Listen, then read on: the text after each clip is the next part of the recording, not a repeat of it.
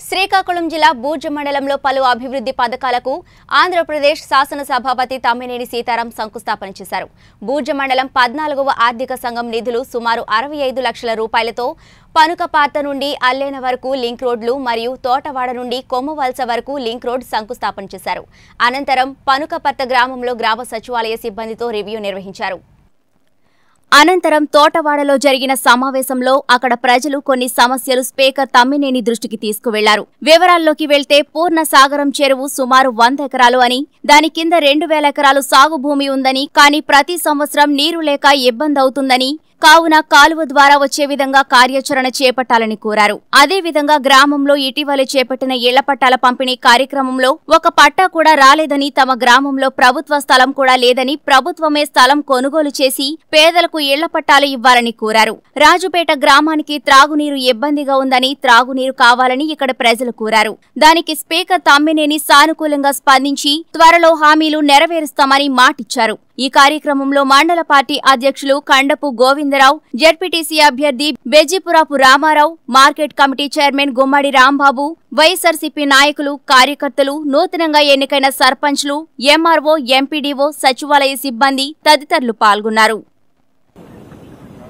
అయితే ఇంకా ఆయన ఒక గొప్ప పని ఏం చేశాడంటే మధ్యలో ఈ జన్మభూమి కమిటీలు కర్మభూమి కమిటీలు ఏవి లేకుండా మీ ఇప్పుడు సపోజ్ ఆమదాల వలస ఉంది. ఏ అక్కడ మీ స్పీకర్ ఉన్నాడు చూసుకుంటాడు లేరా మీరు వెళ్ళండి అని అంటే ఆ పథకం పని పథకమే. అది నీళ్ళు గారిపోద్ది. పొలిటికలైజ్ అయిపోద్ది. చాలామంది వస్తారు. ఇచ్చేవాడికి పుచ్చుకునేవాడికి ఎన్ని చేతులు అన్న సామెత మళ్ళీ వస్తుంది అది. అది లేకుండా ముఖ్యమంత్రి గారు ఒక గొప్ప సిస్టమ్ పెట్టారు. నగదు బదలాయింపు సిస్టమ్ అని.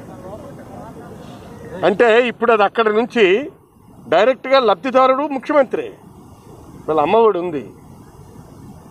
ఆ అమ్మగారు ముఖ్యమంత్రి గారు రైతు భరోసా ఉంది.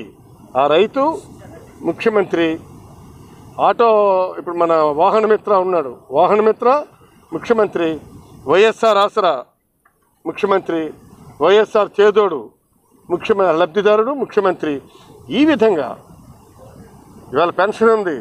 తెల్లవారేసరికి ఇంతకుముందు ముందు అక్కడికి వెళ్తే మనం ఎంతో కొంత కోత పెన్షన్ ఇచ్చాము ఇప్పుడు అదే లేదు నీ ఇంటికి తెచ్చి ఇచ్చేస్తున్నారు. తెల్లవారు ఐదో గంట సరికి దెబ్బ దెబ్బ దెబ్బ మన డోర్ గుద్దినారంటే మా నాన్న వచ్చారు రా ఆయన అని. లేగు లేగు వాలంటీర్ వచ్చాడు. లేగన్నా మన జగన్మోహన్ రెడ్డి గారు మీ పింఛన్ ఇంటికి ఇచ్చాడు. లే అవ్వ అమ్మ తాత మనోడు మొత్తం అందరికీ ఇంటికి తీసుకొని వెళ్ళి ఇచ్చే ఈ ప్రక్రియను. దీనివల్ల అవినీతికి ఆస్కారం లేనటువంటి ఒక పాలనా వ్యవస్థని సంక్షేమ రంగాన్ని భారతదేశంలోనే మొట్టమొదటిసారిగా ఎస్టాబ్లిష్ చేసినటువంటి వ్యక్తి మన ఆంధ్రప్రదేశ్ ముఖ్యమంత్రి గారు. వారికి మనందరం కూడా ధన్యవాదాలు తెలుపుకోవాల్సినటువంటి అవసరం ఉంది. లేకపోతే ఇన్ని పథకాలు పెట్టినందుకు ఎంతో అవినీతి.